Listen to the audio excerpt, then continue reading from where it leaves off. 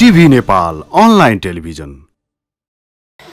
मैले ताप्लेजुङ सरकार केन्द्रको बारेमा धेरै बताइरहनु पर्दैन। ताप्लेजुङको सामाजिक क्षेत्रमा योगदान पुर्याउने उद्देश्यले यो ताप्लेजुङ सरकार केन्द्र काठमाडौँको स्थापना भएको यसको संस्थापक अध्यक्ष डाक्टर भरत प्रधान र संस्थापक महासचिव अहिले नेपाल सरकारका संस्कृति पर्यटन तथा नागरिक उड्डयन मन्त्री माननीय योगेश भट्टराई हुनुहुन्थ्यो। र त्यही निरन्तरतालाई हामीले खेलिरहेका छौँ। थुप्रै कामहरू ताप्लेजुङ सरकार केन्द्रले गरेको छ। ताप्लेजुङको पहिचानका निम्ति ताप्लेजुङलाई चिनाउने क्रममा हामीले पहिलोचोटि मफसलको जिल्लाहरूले काठमाडौँ उपत्यकामा ताप्लेजुङ मेला ताप्लेजुङ महोत्सव गरेर ताप्लेजुङलाई स्थापित हुने काम गर्यो। र विगत अघिल्लो वर्षबाट हामीले दुई तिनवटा विषयहरूलाई समेटेर एउटा अक्षय कोष निर्माण गर्ने अभियान सुरु गर्यो। खास गरी माननीय योगेश भट्टराईले निर्वाचन जितिसकेपछि ताप्लेजुङ कलका कलाकारहरूको उत्थान र प्रवर्धनको निम्ति एउटा अक्षय कोष निर्माण गर्ने घोषणा गर्नुभयो र उहाँले आफ्नो तर्फबाट रु तिन लाख घोषणा गर्नुभयो र त्यसलाई निरन्तरता ताप्लेजुङ सरकार केन्द्रले दिनुपर्छ भन्नुभयो। त्यसको अभियान अन्तर्गत हामी माघ सत्र गते ताप्लेजुङ साँझ गर्न गइरहेका छौँ। अघिल्लो वर्षको भदौ पन्ध्र गते नै गर्ने योजना थियो। दुई वर्ष अगाडि नै। तर त्यो बेलामा सम्भव हुन सकेन। र अहिले यो कार्यक्रमलाई हामीले सम्पन्न गर्न गइरहेका छौँ। र यो कला कलाकार ताप्लेजुङका कलाकार कल्याण कोष स्थापना एउटा भयो। आर्थिक अभावका कारणबाट शिक्षा लिन वञ्चित भएका ताप्लेजुङका असहाय विद्यार्थी बालबालिकाहरूका निम्ति छात्रवृत्ति कल्याण कोष स्थापना र अर्को विभिन्न कारणबाट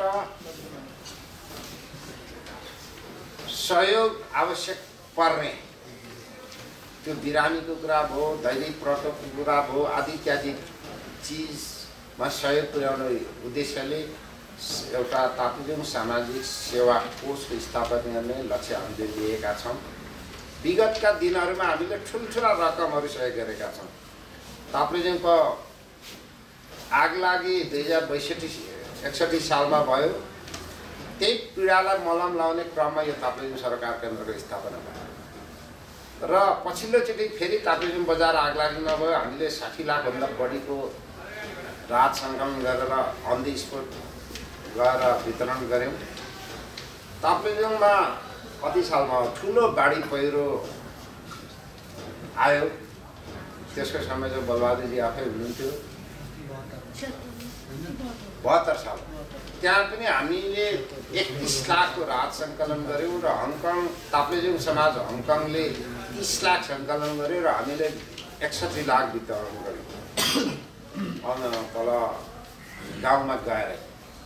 भने काठमाडौँमा कतिपय उपचार गर्न आउनुहुन्छ आर्थिक अभावले उपचारमा पीडा हुन्छ त्यसलाई सहयोग पुग्ने हिसाबले पनि यो सामाजिक सेवा कोष स्थापना गर्ने हामीले निर्णय गऱ्यौँ र अहिले त्यही अभियान अन्तर्गत पहिलोचोटि ताप्लेजुङ कलाका कलाकार कल्याण कोष स्थापना निम्ति माघ सत्र हामीले यो कार्यक्रम आयोजन गरिरहेका छौँ।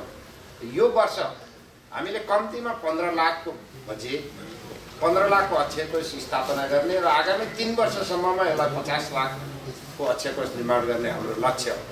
र पन्ध्र लाखभन्दा माथि उठेको रकमलाई हामीले योचोटि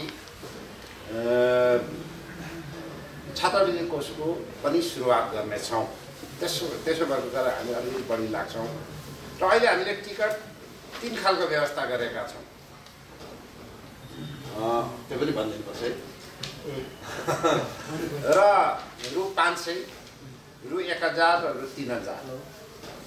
र हाम्रो लक्ष्य के हो भने टिकट बिक्रीबाट यो कार्यक्रम सञ्चालन गर्ने खर्च व्यवस्थापन हुनेछ। र अघि हामीले उद्घोष गरेका हामीलाई सहयोग गर्ने प्रायोजकहरूबाट आएको रकम अक्षय कोषमा जम्मा गरिनेछ। अहिलेसम्म हाम्रो टार्गेटमा यो पच्चिस लाखभन्दा माथिको रकम हुनसक्छ भन्ने हाम्रो अनुमान छ। र यसका निम्ति प्राज्ञ अशोक लोरुवाङ राई राईले पनि हामीलाई अलिकति झकझकाउनु भयो। स्थगित भइसकेको कार्यक्रम गर्ने कि नगर्ने भन्ने दुविधामा थियौँ। उहाँले भन्नुभयो उहाँले सार्वजनिक गर्नुभयो दुनियाँको लागि धेरै चिज गरियो जिल्लाको लागि अब एकपटक गर्ने प्रतिबद्धता व्यक्त गर्नु त्यसले हामीलाई उत्साह दियो त्यस कारण हामी यो जिल्लाको लागि एकचोटि हामी जुटिरहेका छौँ। र उहाँले यो सम्पूर्ण कार्यक्रमको सङ्गीततर्फको व्यवस्थापन हेरिराख्नु भएको छ।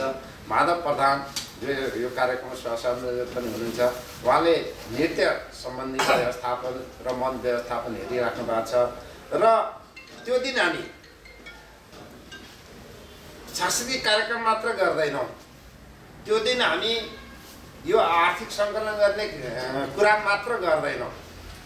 कम्तीमा पनि माघ सत्र गते तिन बजीदेखि छ बजीसम्म तिन घन्टा त्यो प्रज्ञा भवनको हलमा ताप्लेजुङलाई हामी हेर्नेछौँ ताप्लेजुङलाई देख्नेछौँ। ताप्लेजुङको अहिले भिजिट नेपाल दुई हजार बिस पनि चलिरहेको छ ट्वेन्टी ट्वेन्टी पनि चलिरहेको छ। त्योसँगै जोडेर ताप्लेजुङका पर्यटकीय स्थलहरूको प्रचार प्रसार गर्ने कार्यक्रम पनि हामी त्यहाँ प्रस्तुत गर्छौँ र पूर्ण रूपमा त्यो तिन घन्टा ताप्लेजुङलाई त्यहाँ हेरेर बस्नेछौँ। ताप्लेजुङमा भएका हिमाली भेगका सांस्कृतिक कल्चरहरू त्यहाँका लिम्बूका च्याब्रुङ धन्नासहरू पनि हामी हेर्छौँ त्यहाँ। अथवा समग्रमा मलाई अशोकजीले भन्नुभएको छ हाम्रो सपना छ कि त्यहाँ उपस्थित हुने मान्छेहरूले त्यो तिन घन्टा ताप्लेजुङ हेरेर पनि ताप्लेजुङ यो रहेछ भनेर जान्नेछन्। यो महत्त्वाकाङ्क्षाका साथ हामीले यो कार्यक्रम गरिरहेका छौँ। यो कार्यक्रम सबै हामीले कहाँ कति के गरेर गर्न सक्छौँ? सहभागी बन्न र यसलाई सफल पार्नको निम्ति सबैको साथ सहयोग रहोस् भन्ने हिसाबले म सबैलाई आग्रह गर्न चाहन्छु र सबैलाई अनुरोध गर्न चाहन्छु र कलाकारहरूको सन्दर्भमा अलिकति माधव र अशोकजीले नै तपाईँहरूलाई प्रश्न पार्नु हुनेछ उहाँहरूको डिपार्ट छ त्यो कलाकार। र हामीले आयोजकको हिसाबले भन्नुपर्दाखेरि चाहिँ ताप्लेजुङको कलाकार सबैलाई सहभागी गराउने हाम्रो उद्देश्य हो। किन भन्दाखेरि यो कोष निर्माण पनि ताप्लेजुङकै कलाकारहरूको निम्ति थियो छ। त्यसो भएको कारण सम्पूर्ण ताप्लेजुङवासी कलाकार साथीभाइहरूलाई यसमा इन्भल्भ समावेश गरेर सहभागिता गराउने हाम्रो उद्देश्य हो र केही साथीहरू चाहिँ त्यो बेलामा विदेश काठमाडौँ मफुकुलमा बाहिरको कार्यक्रम पहिले सेट भइसकेको कारणले उहाँहरू सहभागी हुन सक्नु भएको छैन।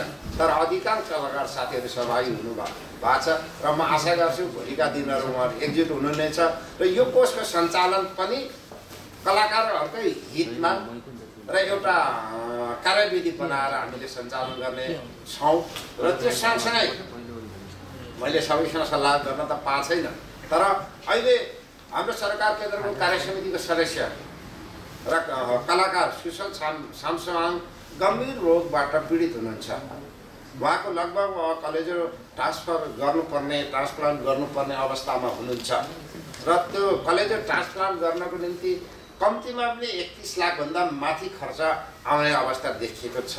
र त्यो यो कार्यक्रम सकिसकेपछि त्यो अभियानमा पनि हामी लाग्नुपर्ने छ त्यसकारण मैले सरकारको केन्द्रतर्फबाट यो कार्यक्रमबाट उठेको रकम मध्येबाट रु पचास हजार उहाँको त्यो कलेज ट्रान्सप्लान्टको निम्ति एउटा सिड मनीको रूपमा हामी त्यो मञ्चमा घोषणा गर्नेछौँ।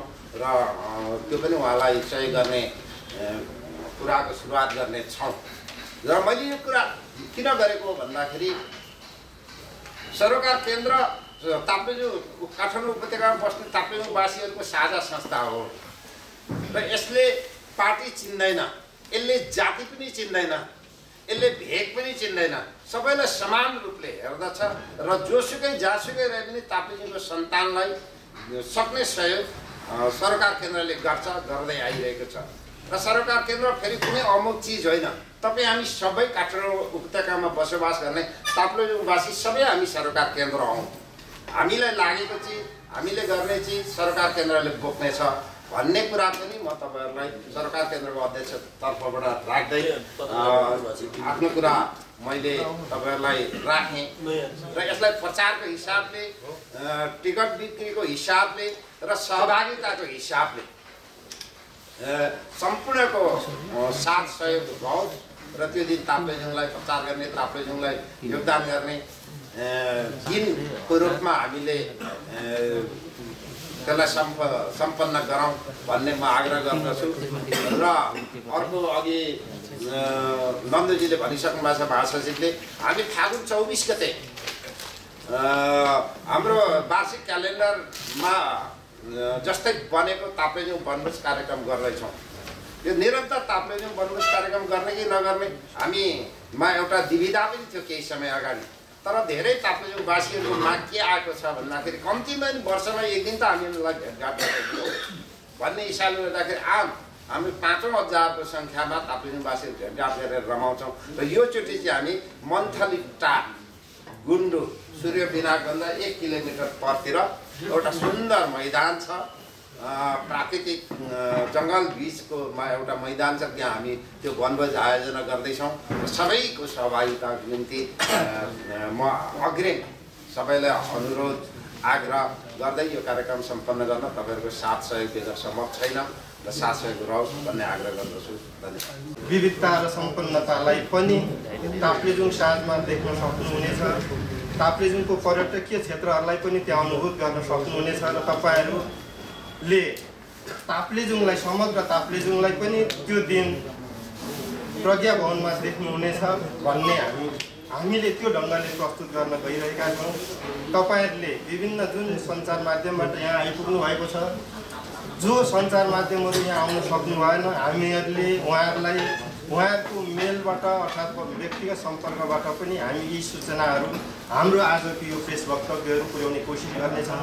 तपाईँहरूले ताप्लेजुङलाई र त्यो ताप्लेजुङको यो वैभवतालाई ताप्लेजुङको यो गौरवलाई आफ्नो सञ्चार माध्यमबाट प्रमुखताका साथ प्रसारण गरिदिनु हुनेछ भन्ने म आशा राख्दै बिदा चाहन्छु ताप्लेजुङ साल सत्र माघ दुई हजार छत्तरमा हुँदैछ। ताप्लेजुङ सर्भर केन्द्र काठमाडौँले को आयोजनामा दुई हजार छत्तर छत्तर माघ सत्र गते शुक्रबार राजधानीमा ताप्लेजुङ साँझ हुन लागिरहेको कुरा अवगत गराउन पाउँदा खुसी लागेको छ। ताप्लेजुङका कलाकारको हित संरक्षण प्रबन्धन तथा उत्थानका लागि ताप्लेजुङ कलाकार कलाकारी कोष स्थापना गर्न यो साँझ आयोजना गरिन लागेको हो।